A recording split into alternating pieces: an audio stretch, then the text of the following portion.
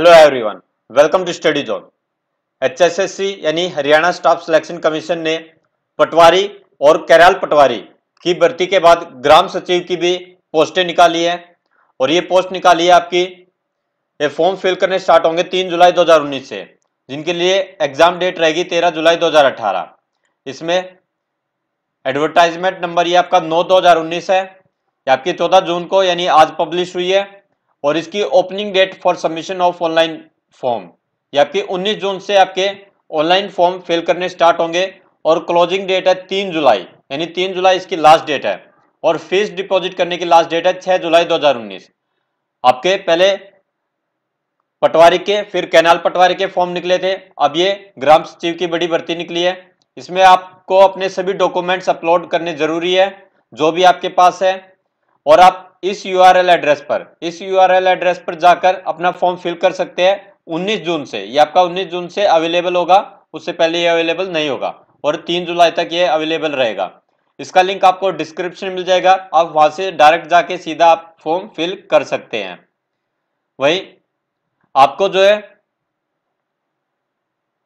documents which has been uploaded shall not be entertained which has not been यानी जो document आपने upload नहीं किए, वो बाद में नहीं माने जाएँगे। यानी आपके पास जितने भी डॉक्यूमेंट्स है, चाहे एक्सपीरियंस सर्टिफिकेट हो या जो आपकी हायर एजुकेशन सर्टिफिकेट्स है, वो सभी आप जो है ऑनलाइन फॉर्म फिल करते वक्त ज़रूर भरें।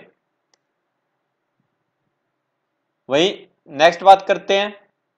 इसमें आपकी, ये आपकी डेवलपमेंट एंड पंचायत डिपार्टमेंट में पोस्ट निकली है, ग्राम सचिव की टोटल पोस्ट निकली है सिक्स नाइनटी सेवन पोस्ट जिसमें जनरल की है 287 और जनरल में भी अगर डिवाइड करें नॉन ईएसएम की 234 और ईएसएम की 46 और ईएसपी की 7 ऐसी एससी की 162 बीसीए की 107 बीसीबी की 74 और इकोनॉमिकल वीकर सेक्शन की 67 पोस्टें निकली हैं।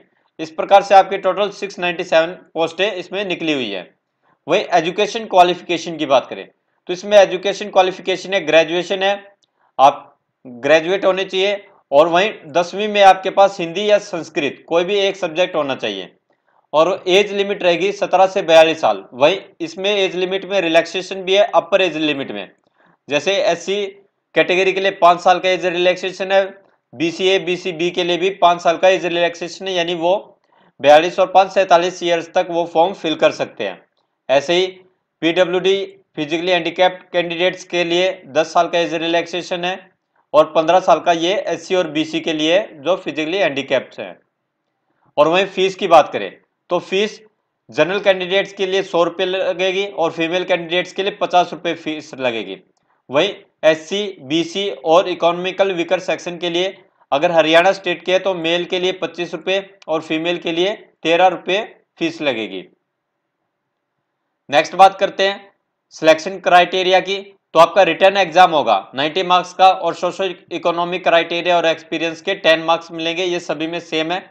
और आप, जो आपके 90 मार्क्स का रिटर्न एग्ज़ाम होगा, उसमें 75 परसेंट वेटेज रहेगा general awareness, reasoning, math, science, computer, English, Hindi और कंसर्न और रिलीवेंट सब्जेक्ट। यानी जो आपका सब्जेक्ट है, ग्राम चीफ से रिलेटेड आपके क्वेश्चन आ सकते हैं। और वही आप हरियाणा करंट अफेयर्स की वीडियो के लिए, हरियाणा जीके के लिए, स्टडी जोन को, चैनल को सब्सक्राइब ज़रूर करें और नोटिफिकेशन बेल का बटन ज़रूर दबाएँ। और वहीं इसमें 25 परसेंट वेटेज रहेगा। हरियाणा की history Haryana current affair, Haryana literature geography civics environment यानी हरियाणा की जीके से रिलेटेड आपका पच्चीस वेटेज रहेगा एग्ज़ाम में। और वही सोशो इकोनॉमिक क्राइटेरिया की बात करें तो आपके टेन मार्क्स रहेंगे। मैक्सिमम आपको टेन मार्क्स मिल सकते हैं। या तो आपके घर में कोई भी गवर्नमेंट जॉब पर नहीं हो फादर मदर स्पोज यानी हस्बैंड या वाइफ ब्रोदर या सन कोई भी अगर गवर्नमेंट जॉब पर नहीं है तो उसको पाँच मार्क्स मिलेंगे। या अप्लीकेंट एक विडो उसको पाँच मार्क्स मिलेंगे। या पहला या दूसरा चाइल्ड जो फॉर्म फिल कर सकता है, उसका फादर 42 ईयर होने से पहले उसकी डेथ हो गई हो तो उसको पाँच मार्क्स मिलेंगे। या किसी के फादर की डेथ हो गई हो, और उसके पहले और दूसरे बच्चे ने पंद्रह साल की एज अटेंड ना की हो। यानी पंद्रह साल की एज में होने से पहले उसके फादर की डेथ हो गई हो तो उसको भी पाँच मार्क्स मिलेंगे। ऐसे ही कोई विमुक्त जाति, टिप्रावास जाति से बिलोंग करता है तो उसको भी पाँच मार्क्स मिलेंगे। वहीं एक्सपीरियंस के मैक्सिमम, एक्सपीरियंस के मैक्सिमम एट मार्क्स मिलेंगे। यानी आपका मैक्सिमम 16 साल का एक्सपीरियंस काउंट होगा। एक साल के 0.5 मार्क्स, यानी आधा मार्क्स एक साल का काउंट होगा। ये आपको याद रखना है।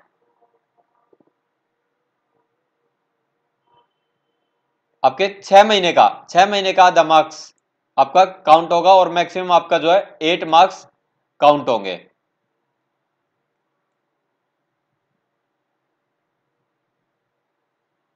One half marks for each year यानी आपका एक साल का आधा मार्क्स काउंट होगा और आपके मैक्सिमम आठ मार्क्स हो सकते हैं सिक्सटीन ईयर्स के, ये आपको ध्यान रखना है। और इन सभी को जोड़कर आपके मैक्सिमम टेन मार्क्स हो सकते हैं। वही एग्जामिनेशन शेड्यूल की बात करें तो ये आपका एग्जामिनेशन शेड्यूल सभी का लगभग सेम है। तेरह जुलाई 2019 से 18 अगस्त 2019 तक, यानी इसके बीच में आपके, चाहे पटवारी के पेपर हो, कैनाल पटवारी के हो, या आपके जो है ग्राम सचिव को आपके लगभग सभी टेस्ट जो है, इसी डेट्स के बीच में आपके जो है एडजस्ट किए जाएँगे, और आपके जो है एग्ज़ाम इसी एक मंथ में खत्म हो जाएँगे। और आपको ये वीडियो कैसा लगा? कमेंट्स में लिखकर ज़रूर बताइए और इस वीडियो को ज़्यादा से ज़्यादा लाइक करें और ज़्यादा से ज़्यादा व्हाट्सएप ग्रुप पर, ज़्यादा ज़्यादा फेसबुक पेजेस पर शेयर ज़रूर करें। Thank you